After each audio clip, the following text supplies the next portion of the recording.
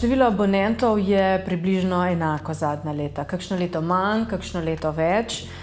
Dvorano imamo kar lepo zapolnjeno, vendar pa se vedno najde prostor tudi za tiste, ki si želijo ogledati samo posamezno predstavo. Za abonmaje in posamezne predstave se odločajo od srednješolcev dalje, tako da pokrivamo vse starosti. Predvsem pa me veseli, da se za abonmaje odločajo tudi mladi. In veseli smo, da naše predstave obiskujejo tudi prebivalci drugih občin, ne le zasavskih, ampak tudi izven Zasavja.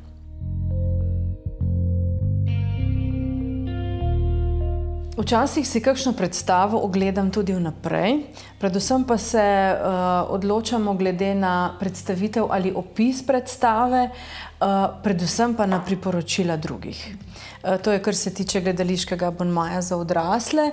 Kar pa se otroških predstav tiče, pa prisegamo na kakovost Lutkovnega gledališča Ljubljana. Večina predstav za otroke, ki jih imamo v Delavskem domu Zagorje, je produkcije Lutkovnega gledališča Ljubljana. V bistvu so vse predstave pri nas zelo lepo obiskane. Je pa res, da smo v zadnjih dveh letih pri nas gostovali tudi tri mjuzikle.